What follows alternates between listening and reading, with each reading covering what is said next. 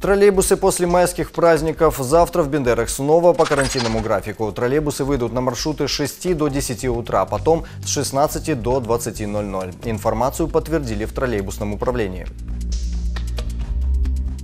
В Тирасполе график останется прежним. Ограничивать движение по времени не будут, пока до четверга. На заседании оперштаба решат, как будет дальше.